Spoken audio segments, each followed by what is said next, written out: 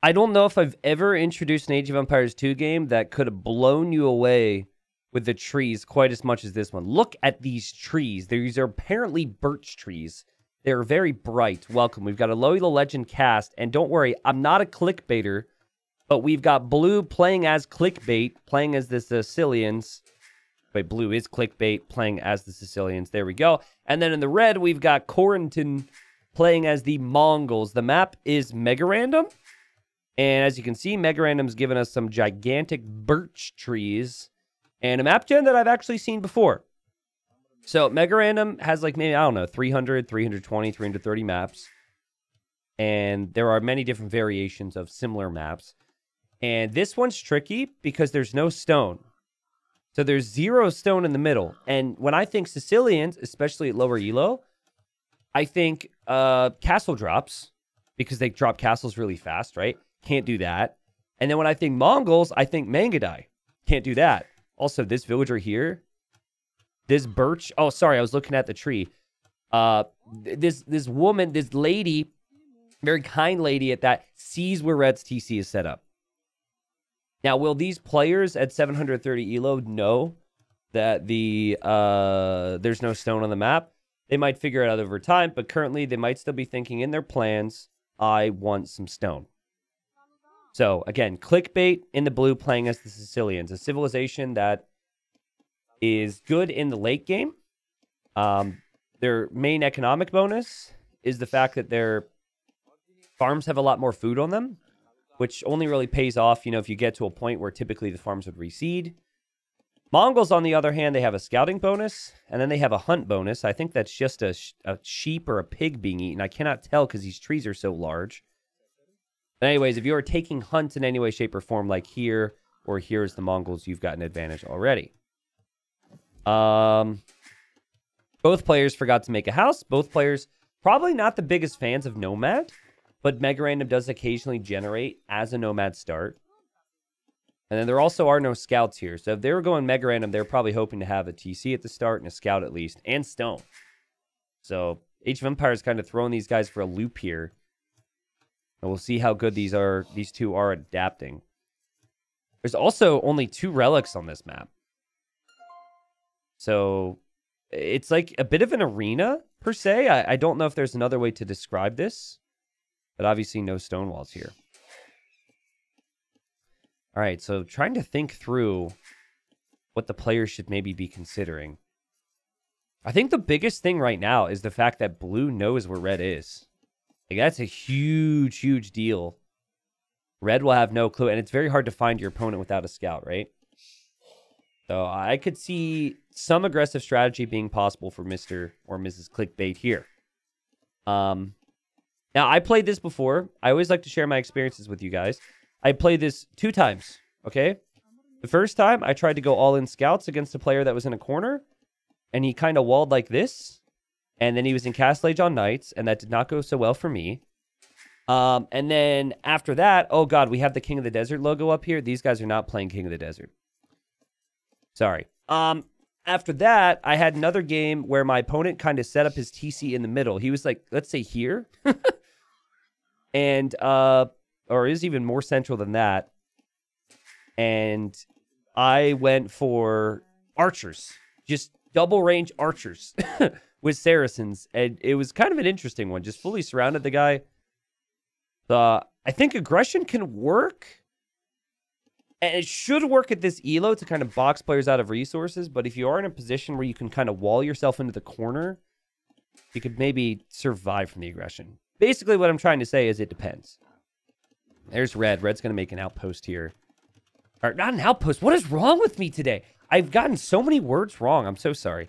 Uh, that is not an outpost, though it will actually give you some vision. So maybe you can consider it one. The Red's going to make a mill. And that's a good drop-off point there for the hunt that is nearby the mill. Whoa, early barracks here for clickbait. Okay. No, I, am not sleepy at all. I actually have more energy than I normally do at this time of day, even though it's only 1.30. I'm just I'm very energetic, but sometimes I'm too energetic and my brain doesn't really match the other levels within my, my body, you know? Like my brain's moving too slow, or maybe it's moving too fast for my mouth to be able to speak. Will Blue consider a militia maybe to scout? I mean, you see a lot of things here. I don't actually think you need to do that because you can see the boar and you can see the hunt here. You can see the hunt here as well. There's really no reason to be doing that. Also, I'm pretty sure this lady's been trapped for a really long time. So I think Capture Age has her classified as moving right now, right? Trying to see. Oh, no, she's back to work now. I was wondering why the stats changed. Okay. I just noticed that she was trapped there for a while. 15 villagers for the Mongol player. Has done a much better job keeping villagers created. Blue is going to drop a militia for scouting. Already knows where red is. So you know where the enemy is. And then you know where a critical amount of resources are. And blue says, I want to have more resources, please. Now, a thing about nomad starts that a lot of players aren't used to is you actually you don't need to have as much on wood at this stage. Um, well, actually, you would need to do so if you're going to farm like this. So I was just going to say, just spend your wood. And while blue is actually going to make more militia after this and just needs to get a couple houses for population space. So another thing about Nomad starts is it is incredibly difficult to damage your opponent with like militia because typically their eco is right underneath their TC. But in this case, red has actually farmed away from the TC, so that is actually not the case. It's a different world here at low elo, right? And so blue says, I know where my opponent is. My opponent's in the dark and doesn't know where I am. We're going to be freaking aggressive here. Let's go. I assume blue remembers that. Blue won't be able to see the farms in the fog of war, by the way. That's a spectator thing. I wish they'd fix that, but it's been part of casting for so long that I, I don't think it's going to be something that's ever fixed. And here come the militia. Remember that time I said the militia shouldn't really do a lot of damage on Nomad starts? Well, forget what I said because I don't know what the crap I'm talking about. Here comes red. These militia are ready to go. And I said here comes red when clearly we were looking at blue because, again, I just can't speak. And let's see what happens here. Clickbait, ready to attack, is raiding the farms. And what does Red do in reaction to this? Red says, I'm going to make some of these bad boys as well. And one of the militia died to the town center fire. The other one's weak because of the town center fire. But Red is really under pressure right now. And there's a villager, which I assume Red forgot about. And that was the town bell you just heard. So Blue rang the town bell out of frustration and, and fear. And I said, I got the colors wrong again. I got it wrong again. I'm not even, I'm not trying to do this. Okay. We, both players have militia, thankfully, so I won't misspeak in this cast. My word, I'm getting frustrated with myself. A great job from Red to thwart the attack and fight back. Sheesh. It is 23 villagers for Red. It is 16 villagers for Blue. And uh, neither player really having the resources to go up to the next stage right now. Would love to see Blue uh, add some farms, take these pigs, possibly. One of the best things you can get a habit of doing in Age of Empires 2 is balancing your res. So, like, thinking, what's my next goal? Well, in this case, you probably want the 500 food to go to the next stage, right? So, okay, I have 500 wood right now with 13 on wood. Hmm, maybe I should pull some of these villagers and build farms. That's kind of the goal. Now, an issue for red here is the fact that red now probably isn't comfortable moving out all that much. And red hasn't been able to find as much because red didn't scout as much as blue did. Like blue is bringing more pigs home. So the militia have really paid off here. I, I take it back. Very well played here from clickbait. Information is always very valuable. Scouting intel, where the opponent's located. Actually, I think for Corentin here. Corentin did find a boar and is scouting the rest of the map. The militia have now split up. So they're probably not thinking about stone right now. I know that's something that it probably won't dawn on them until they really want it, but these guys have scouted a lot with their militia and they have not located any stone. All the militia are split up. This is pretty freaking cool. Look at them. Setting waypoints everywhere. Red still ahead with total villager count. But blue has more on food right now. Blue could end up in the feudal age faster. And blue's got the pigs. So I consider some of the resources that red has collected over blue right now, if we were to check. Some of that's kind of wasted right now. Like that excess wood, I'm not really seeing how that helps red. And it would help red a lot more, obviously, if red were to farm with some of those vills.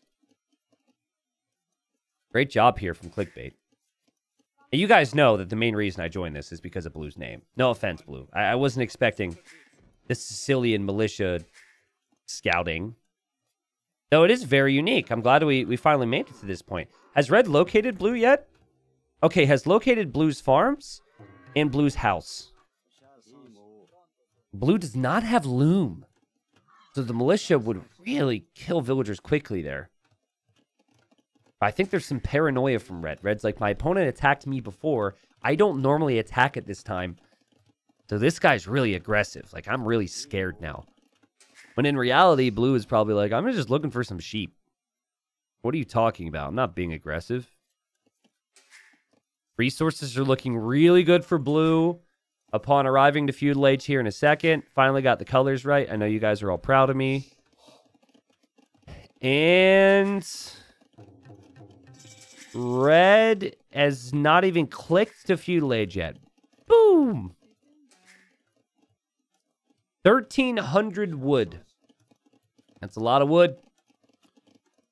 Some people out there are like, this is why markets exist. You notice Red's reaction right now? I think this is a, oh crap, my opponent's ahead of me. I might as well try and fight now reaction, right? And it's a good thing. It, it's a good thing. Like, you think, oh, that's bad for me? I should do something that's not a bad way of looking at the game. It's better than just sitting at home and twiddling your thumbs. And now Blue's militia are split up randomly all around the map. So Blue doesn't actually have anything to defend the farms. As these villagers now are out of jobs underneath the TC. And Blue's to click Man at Arms. And Blue's to make a bunch more. Because Blue can't find the other ones. it's like, you know, the, the raiders come into town. And the leader's like, oh, it's fine. We'll just send the militia that we created earlier. And he's like, but sire, you sent them out to scout as well. And he's like, ah, sorry, guys. I did it due to budget problems. We couldn't afford to have a scout and also to have defense. It's funny. It looks like Blue has located one of them. He has located the weakest one. These two would be helpful as well. And man, that idle time just changed this game entirely. I don't think Blue was planning on spending all this food on Man-at-Arms. Red actually going for Man-at-Arms as well now. Getting the wood upgrade, getting the farm upgrade. Both players are making infantry, so it makes sense for both players to make archers. Right now, I'm sure Blue is currently thinking, I'm going to be ahead because I have so many units. And Red is probably thinking, I'm going to be ahead because I clicked Man-at-Arms. Didn't know till now that Blue did the same. That was actually a really good fight. And let's see how these guys adapt from here. This is a very unique game, and we have supplies coming in for clickbait. We'll see if clickbait even knows what that does. That does make the food cost cheaper for your infantry units. However, uh, you already created a bunch of them, Blue. And now Red rings the town bell. Oh, gosh. I can't. Of all the things low elo players do, the ringing of the town bell bothers me more than anything. And Red thinking there was a house wall realizes there wasn't a house wall there at all. And Blue now runs away. Okay, so those who watch my videos probably understand my opinion on this. I have not only said why I don't like the town bell and why it stresses me out many times, but I have also clarified and said the same thing I said before that, which is those who watch my videos have heard this a million times. So now you're going to have to hear that again as well. But to reiterate my point for the million and first time, if you ring the town bell, it is going to idle a lot of eco that isn't actually in harm's way. It is absolutely more convenient for you. I get that. And everyone's not out here to just play and win all the time. You want to play in a way that suits your soul. But it does not suit mine to watch it. Let's just say that. As we've got eight men at arms for red. And last blue checked, his opponent ended up having only like four or five. I love the donjon here, though. The donjon protects the farming eco. And you can also produce sergeants out of the dungeon, which is similar stat-wise to the Man-at-Arm. It has less HP and has one less attack, but it has more armor. So I think it kind of balances out. At least the town bell makes the villagers go back to work correctly. True, because the go back to work hotkey's broken and has been for over a month. True. I said earlier, the devs did make a statement on it about how they're putting a lot of time and effort into trying to fix a lot of those bugs here in June. So I have been very upset by it. Still am upset that it got to the point where that kind of happened. Uh, I think it should be considered unacceptable, and it is. But they are working on it, and we move forward. Don't even get me started on the bugs that I had trying to cast games today. I have to queue up for ranked and then cancel the queue after restarting my game in order to spectate a game. It's a fun time right now. Big attack here. I think blue is going to be taken back by how much red has. Let's see how this fight goes. Okay, so we've got a bigger army for red, slightly, right? Eight units versus, well, eight units, okay. Blue does have infantry armor and attack. There's still a hole there, which is funny to me. And both players very focused on microing their armies at the moment. Still no archers. Look at that. Blue actually buys more stone. Remember, there's no stone available in this map generation. And we are going to see the sergeants make a donjon there. That is something the sergeants can do. You don't see this a lot. But I think donjons stress people out. I don't think people know what to do against them. It's a pretty strong tower-like building. Red should see that. Okay, caught a glimpse of the foundation. And is also making scouts here. So we are seeing full feudal here from red. Blue isn't really spending any more resources at this point, and blue just says, well, I think I'm I've done a good enough job. And this is a really good position to hold, right? Because you can just continue to attack red's houses and then maybe think about Castle Age. Yeah, dungeons can be effective as towers, but more than anything, I think they just really stress people out because they look 10 times stronger than they really are.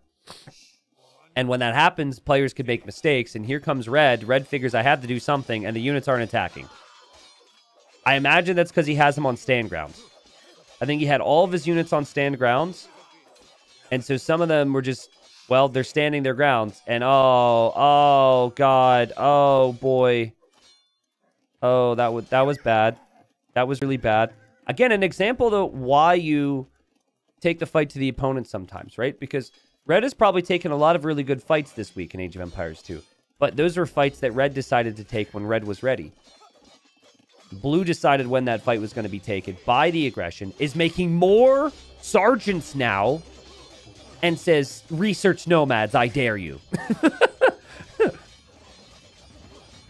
And uh, yeah, Nomads is a tech you can get out of a castle, which you're not going to get in this map generation. And it is still pretty useless unique tech, all things considered, but it is a tech that Mongols have, where they don't lose pop space when they lose their houses. And whoa, whoa, whoa, whoa, whoa. Market is Red's best friend. I thought Red was going to give up, but Red says, no, actually, I'm going to go to Castle Age.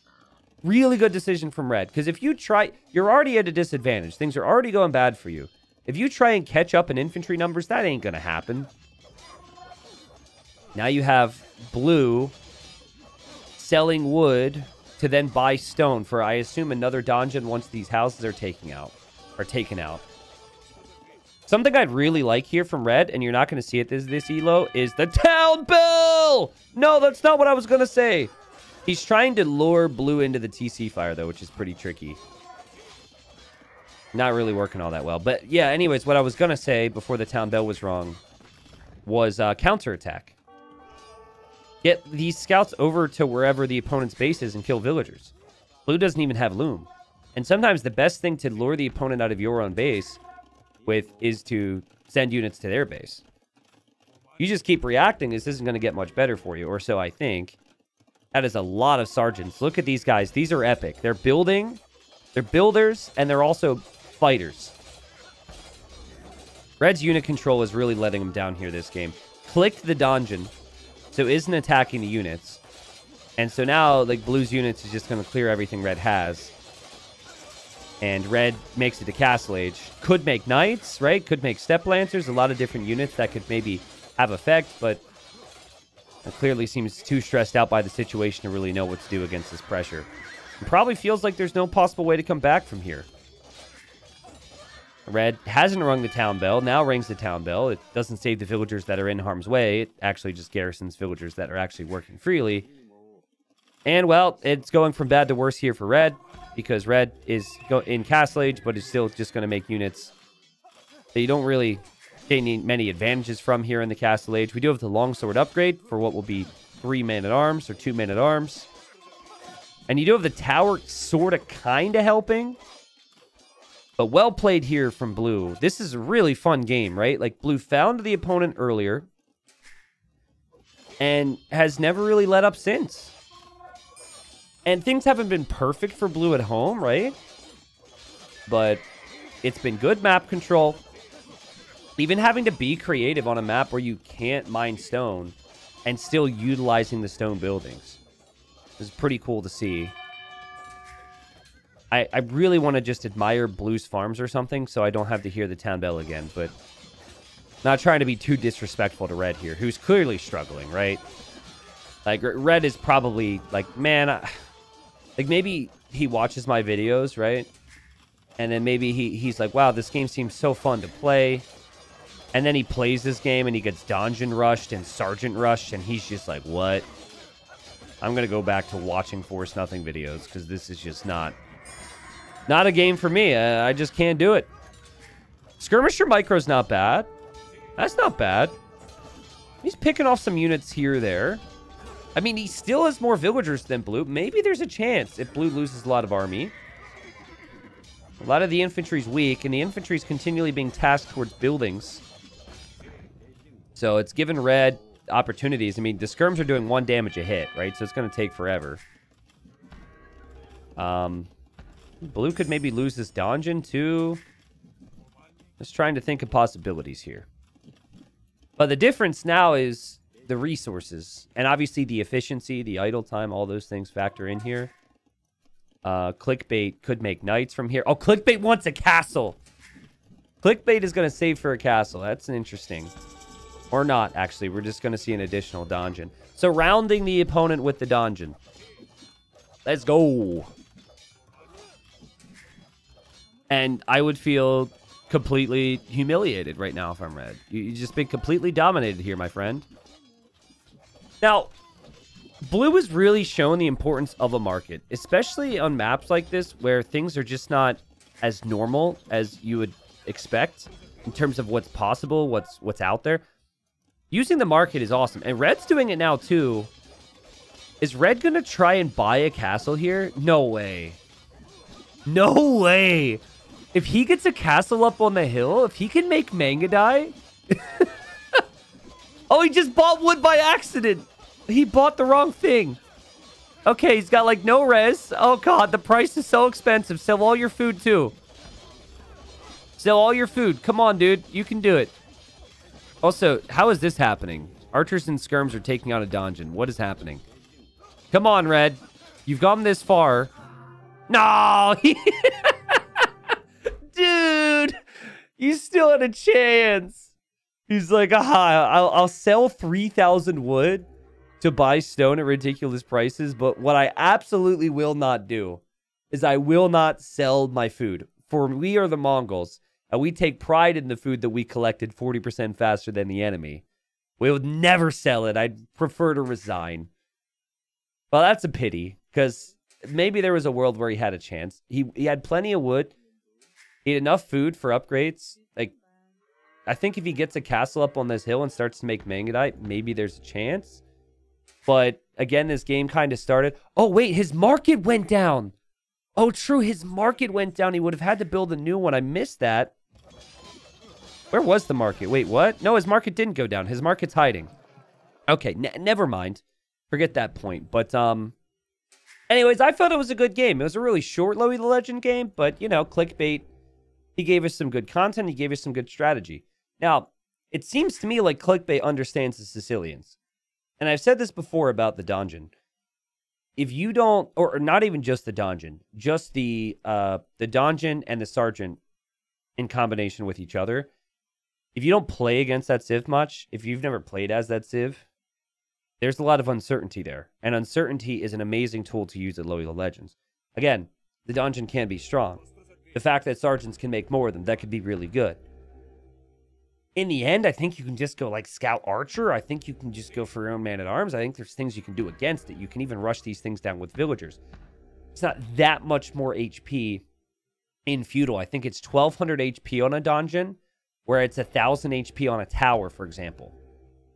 But when you look at this building and then you look at your tower and then you look back at the building, you're like, whoa, that thing's four times the size and it produced military, so it's pretty pretty awkward to deal with.